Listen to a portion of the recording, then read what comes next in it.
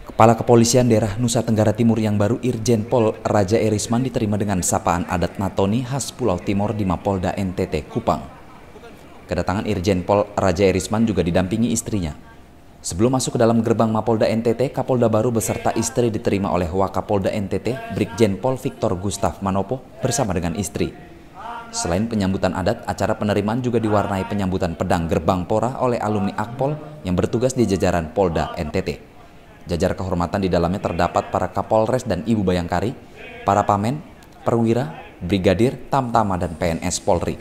Kegiatan tersebut dilanjutkan dengan upacara penyerahan Pataka Polda NTT dari Irjen Pol Agung Sabar Santosak pada Irjen Pol Raja Erisman.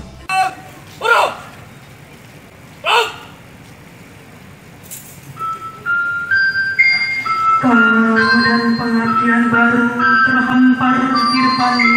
Dari Kupang, Nusa Tenggara Timur, Tim Liputan Tribrata TV, Salam Tribrata. Dalam nama Tuhan.